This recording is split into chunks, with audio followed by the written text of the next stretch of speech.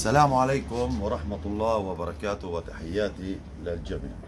إخوان بالنسبة للإخوة اللي بيسألوا دائما عن ترويض الأغواني. هاي الأغواني شرسة جدا طلع قحطتني طبعا هاي لازم تطلعها وتحملها كل فترة بس بدك تنتبه ما تطبقش أكتر إشي بتحب الخس. يلا خس خس خس. يلا كيف مش رح ترضى تاكل ليش؟ لأن طلعناها خايفة. يلا هاي أكلت شايف؟ بدك تطعميها هاي أكلت. بتعد اسمه شطورة كلي.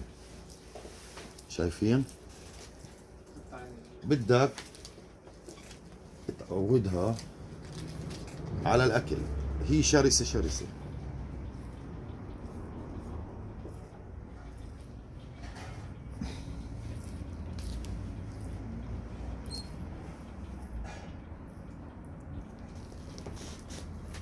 غير هيك ما بزبط إنه تكون أليفة بدون ما تعودها. كلي شاطر عشان ما تخافش ها. حسس على راسها. بالعكس صعب صعب جدا إنك تروضها بدون ما تطعميها أو تحسسها بالأمان. شايفين؟ هلقيت هي.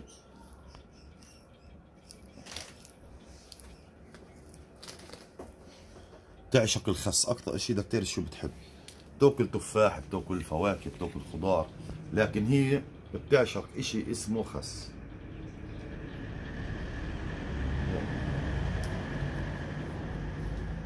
طبعا لي ساعة أنا بتقاوم شايفين؟ وبدها تمشي.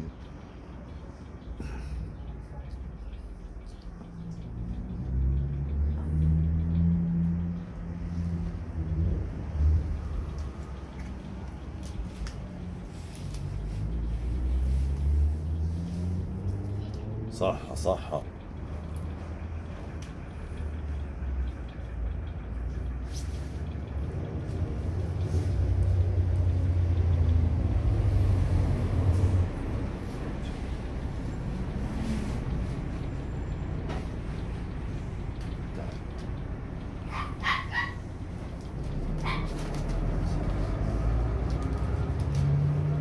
تخافش تخافش تخافش تخافش أيوه خس خس خس خس يلا يلا أيوه. يلا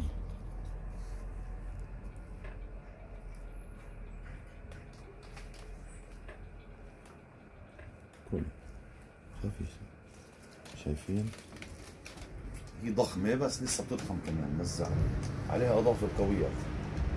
أيوه. لا لا هروب لا هروب بالناش. هروب لا هروب لا. خلص اهدي. اهدي اهدي. أيوه أيوه. شايفين بتحاول إنها تهرب لكن إحنا يلا. خلاص؟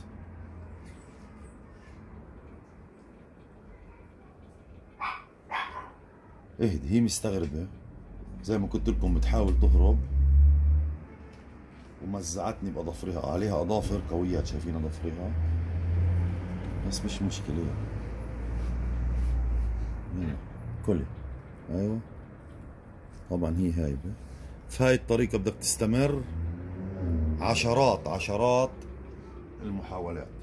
لأنه هذا يعني في النهاية مخ يعني مش مش زي الكلب أو زي باقي الحيوانات. فبدك تشعروا بالأمان.